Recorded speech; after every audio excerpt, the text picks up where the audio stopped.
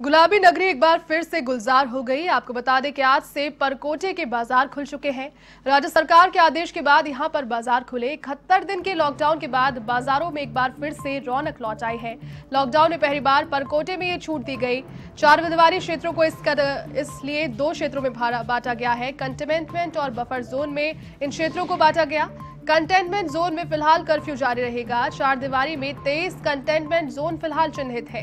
Containment zone में ज़रूरी जो सेवाएँ हैं, वो जारी रहेगी। तेईस इलाकों को छोड़कर बाकी चार दीवारी बफर जोन में डाला गया है। बफर जोन में भी कुछ प्रतिबंध लगाए गए हैं। चार दीवारी के पाँच बाजारों को फ़िलहाल के लिए बंद रखा जाएगा। परकोटे में सलून, होटल, सिनेमा और मॉल्स भी बंद रहने वाले हैं। गोविंद देव जी समेत सभी धार्मिक स्थल के द्वार 8 जून के बाद सरकार इस पर फैसला लेने वाली है। तीन हज़ार जवान निगरानी के लिए परकोटे में फ़िलहाल तैनात है और दुकानदारों को इस दौरान सोशल डिस्टेंसिंग की भी पूरी पालना करनी होगी।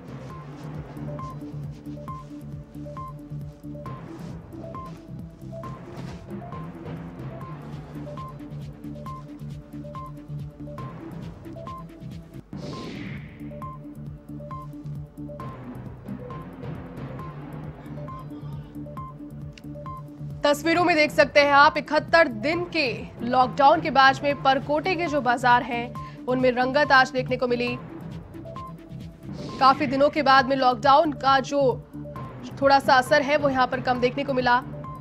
दो ढाई महीने के बाद में परकोटे में पहली बार जो रियायत दी गई, वो इसी तरीके से दी गई।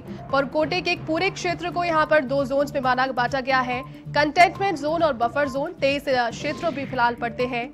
चार दीवारी से उसके अलावा जितने भी क्षेत्र हैं, वहाँ पर हालाँकि कुछ प्रतिबंध अभी भी है। सोशल डिस्टेंसिंग की सभी को पालना करनी होगी। मास्क लगाना ज़रूरी होगा।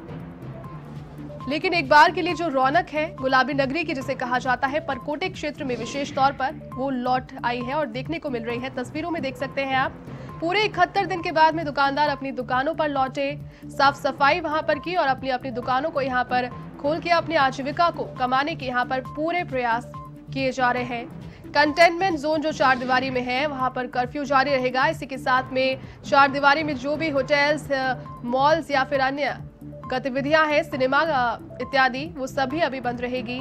आठ जून के बाद में गोविंद देव जी के मंदिर या फिर जो धार्मिक स्थल हैं, उन पर फैसला लेगी प्रदेश की सरकार। कंटेनमेंट जोन के जो तेईस इलाके हैं, उन्हें छोड़कर रियायत यहाँ पर दी गई। बफर जोन उन्हें कहा गया है। हालाँकि चार दीवारी के जो पाँच बाज़ार हैं, उन्हें फ़िलहाल बंद रखा जाएगा। परकोटे में सलून होटल और सिनेमा और साथ ही में मॉल्स भी बंद रहने वाले हैं।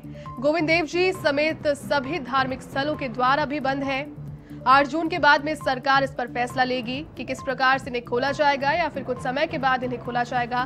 तीन हज़ार जवान फ़िलहाल निगरानी के लिए पूरे राजधानी के परकोटे में तैनात हैं। दुकानदारों से प्रतिबंधों को फॉलो करने की यहाँ पर अपील की गई। सोशल डिस्टेंसिंग और तमाम वो सारी गाइडलाइन जो सरकार ने जारी की, सभी को उसका ध्यान में रखते हुए अपने अपने कार्य करने होंगे।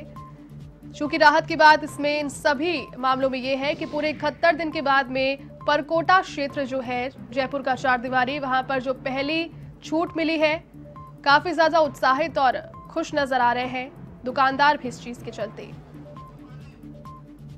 और इसी खबर पर अधिक अपडेट के लिए वन संवाददाता ऋषभ पांडे फ़िलहाल फ़ोन लाइन पर जुड़ चुके हैं। ऋषभ, इकहत्तर दिन के पूरे संघर्ष के बाद में एक बार फिर से जो जीवन की आजीविका की जो पटरी है, वो अपनी गति को पकड़ने लगी है। कंटेनमेंट जोन में फ़िलहाल कर्फ्यू जारी रहेगा। इसके अलावा क्या जानकारी है आपके पास?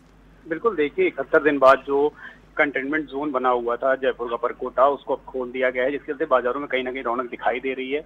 और जो जो परकोटे में जो दी गई है ये पहली बार दी गई है। इसके साथ साथ जो चारदीवारी एरिया उसको दो जोन में बांटा गया है। जो। एक कंटेनमेंट जोन रहेगा और एक बफर जोन रहेगा।